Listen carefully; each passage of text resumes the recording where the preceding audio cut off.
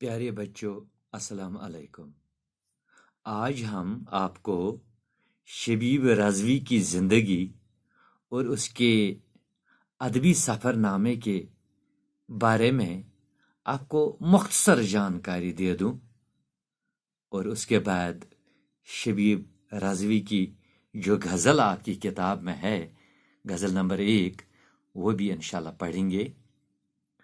तो शबीब रजवी जो हैं, उनका असली नाम सैयद मोहम्मद शबीब रजवी।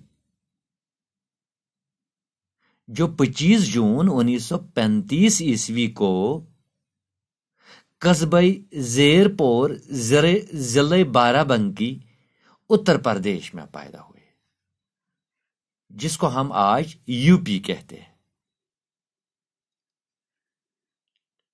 उनके वालिद का नाम सईद मुआइज हुसैन रजवी थे। उन्होंने अपनी दीनी तालीम घर में ही हासिल की। उन्होंने अरबी के साथ साथ फारसी की तालीम भी हासिल की। उन्होंने उन्नीस सौ उनसठ ईस्वी में तिबिया कॉलेज, लखनऊ से तिबिया कॉलेज, लखनऊ से एफ़ एम बी एस जो तिब में की जाती है, महकमे सेहत में की जाती है, की डिग्री हासिल की। नवंबर उन्नीस ईस्वी में उनका तकरुर गवर्नमेंट तिबिया कॉलेज श्रीनगर में हुआ और तरक्की करते करते बाद में वो मेडिकल ऑफिसर के मनसब से सबकदोश हो गए। शबीब राजवी को शायर कहने की तरकीब, तरगीब घर से ही मिली।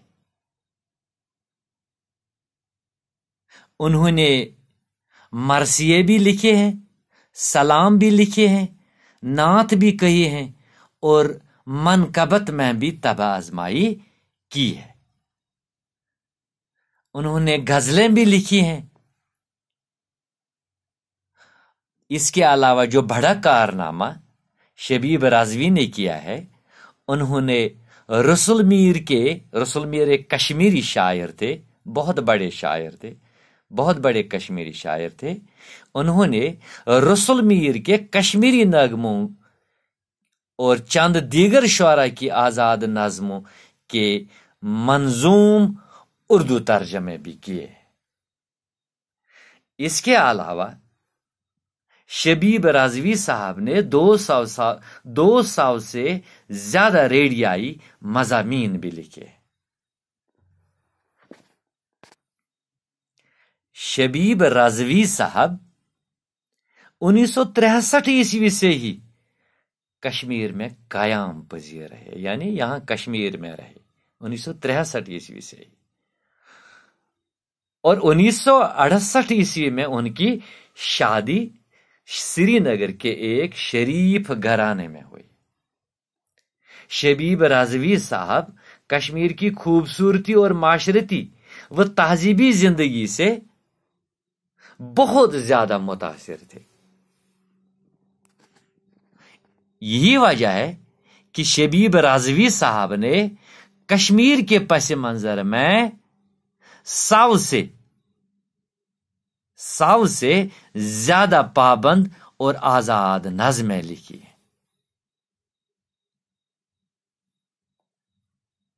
अब हम ये ये था शबीब रजवी साहब का मुख्तसर तारुफ, मुख्तसर तारफ शबीब रजवी साहब का। अब हम उसकी गज़ल देखेंगे। उसकी गज़ल नंबर एक है। गज़ल नंबर एक। जो मैं पढ़ने जा रहा हूँ किताब बंद सही, हर फितर खुला रखना। मुबासे का हमेशा ही दर खुला रखना। सुकूती शब से भी उगता के लौट सकता हूँ।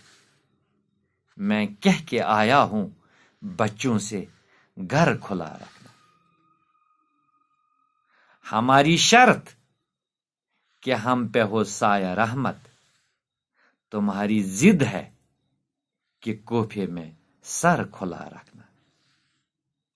शिकस्तगी हुई ज़ाहिर तो मौत लाजिम है। खुली हवाओं के धारे पे पर खुला रखना। किसी का हाथ बढ़े या खींचे किसी का हाथ बढ़े या खींचे, ये उसका नसीब। हमारा फ़र्ज़ है दस्ते हुनर खुला रखना। हमारा फ़र्ज़ है दस्ते हुनर खुला रखना। बाकी इंशाल्लाह इसका